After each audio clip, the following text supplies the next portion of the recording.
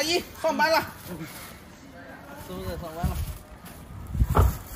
哎，这个提给谁了？英子姐。英子姐，你这啥给我吃啊？说瓜、西瓜、香瓜，香瓜，我们这本地香瓜。自己买的还是你妈妈买的？哇，你个妇女多好！我都羡慕了。羡慕了，来来来，有两个袋子，一人分一半，好不好？没有，不用，不用，等我尝一下就行了。好香呀，闻到。香瓜。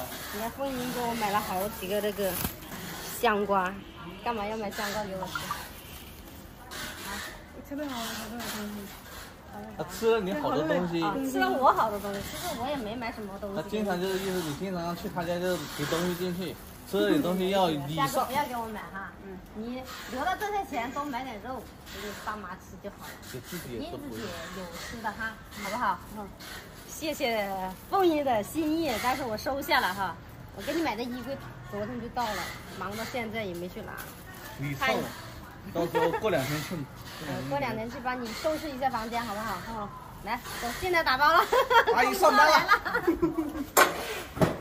还是要感谢凤英太有心了哈，他给我吃了我好多东西，其实我都觉得没买什么东西给他吃。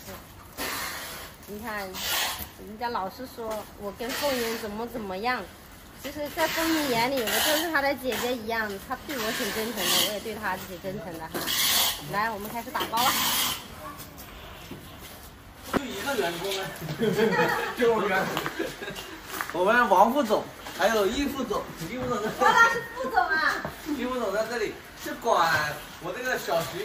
哎呦我的你都是二把手还管我，都是你管我了。易副总，王副总怎么安排？王副总怎么安排？所以下班了。下班走。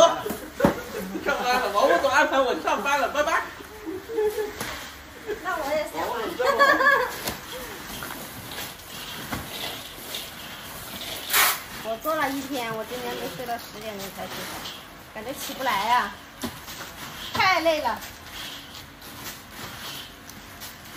那我们就今天又要打包喽。今天我们为啥不直播呢？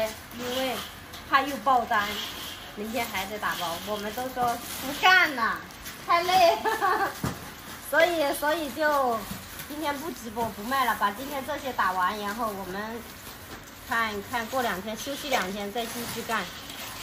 那我们这期视频就分享到这里了，继续打包，拜拜。